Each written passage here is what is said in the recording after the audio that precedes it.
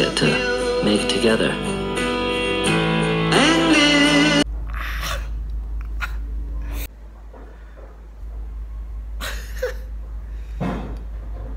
Ah, shoot. Mas masaya to sa birthday ko. If you are a Beatles fan, and if you really are, go check out this short film they made to introduce yung last Beatles song that will ever be made. to have those men in my life and to work with those men so intimately. Kaunting backstory.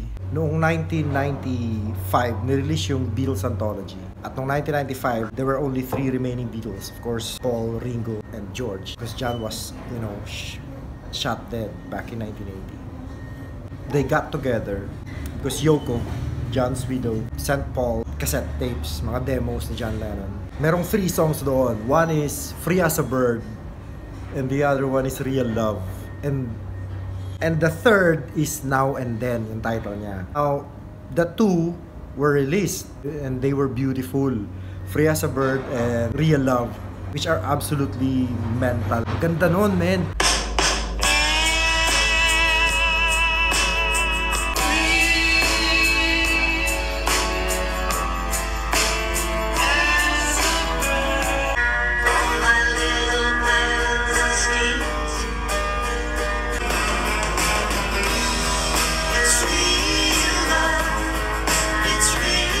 Beatles fans were disappointed in a way kasi hindi nagawa yung Now and Then, the third um, demo.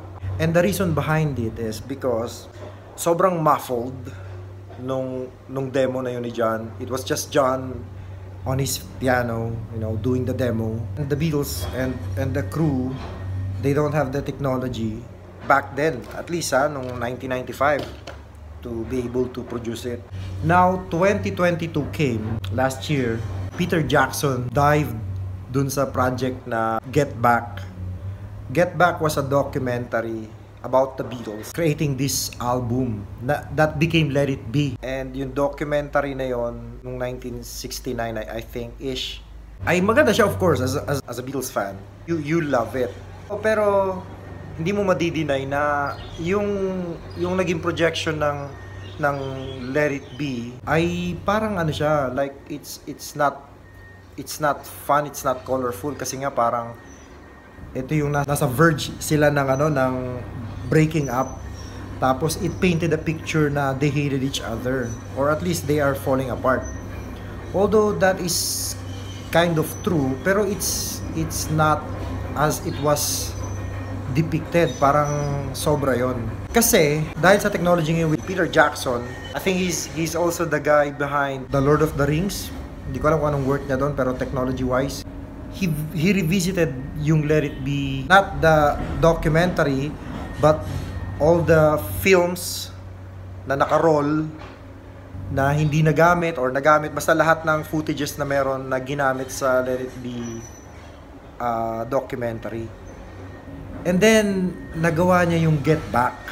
At yung Get Back ay napaka-crisp, napakalinaw ng mga vocals nila, like everything. So what does that got to do with Now and Then, the third Beatles song na I just watched ngayon yung short um, film as an introduction. Uh, I think lalabas yung this week din ito. eh. I, think lalabas yung Now and Then. Oh, actually, mamaya, mamaya November 3, 9 p.m. Hindi ko alam kung Pilipinas time yon pero mamaya i-ano nila ilalabas nila. Anyway, um, Peter Jackson's work on Get Back and the technology that he used dahil doon, dahil nagawa ni Peter Jackson na paghiwalayin yung mga vocals sa sa, sa instruments, Paul thought of the third song, Now and Then, na hindi nila tinuloy noon kasi nga muffled, natatakpan ng piano yung boses ni John. know it's true. It's all because of you. And I got so emotional when I heard yung part kung saan nirelease yung boses ni John Lennon without the piano. And it's so crisp.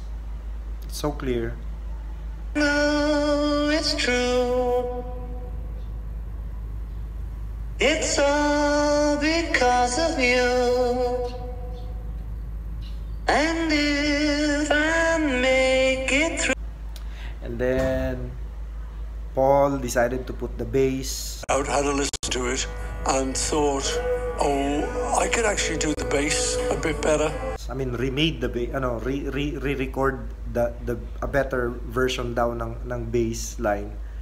And then I saw Ringo, you know, behind the drum kit, layering a track.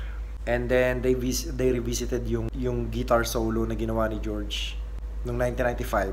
Pero of course 2001 came and and George passed away. Paul used a slide guitar for the guitar solo recreating what George did. Man, I was teary-eyed kanina when I heard John's voice. Ah. And then Paul and then Ringo and then saw footages of George in his old age. I chinat ko agad yung mga friends ko na Bills fans. I have to. I said na this is mas masaya than my birthday. At least that's how I feel right now. Anyway, yeah, um, check it out. The Beatles, now and then, they are third from the before mentioned anthology, which basically, technically now is the third and last Beatles song. Alright, cheers. I know it's true. It's all because of you.